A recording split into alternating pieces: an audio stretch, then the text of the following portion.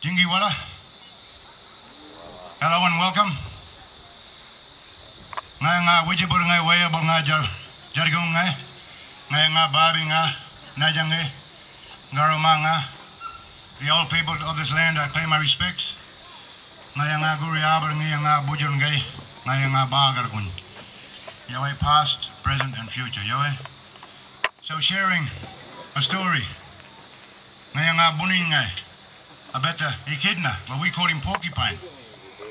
Hey, so some people get confused because, yeah.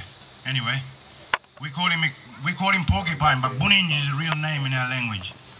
Hey, we got we speak the one tongue, but so many meanings to the one animal. Yeah. Hey, he's he's another name is guinea gin. Hey, that means also echidna, the spiky anteater.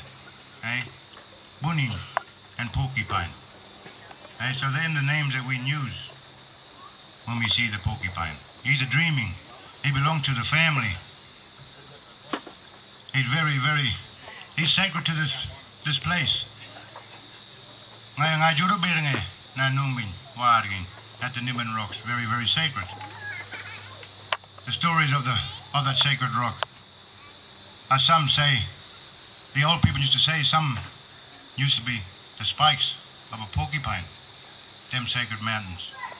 Hey, that's like back home in my country, same, same. Anyway, we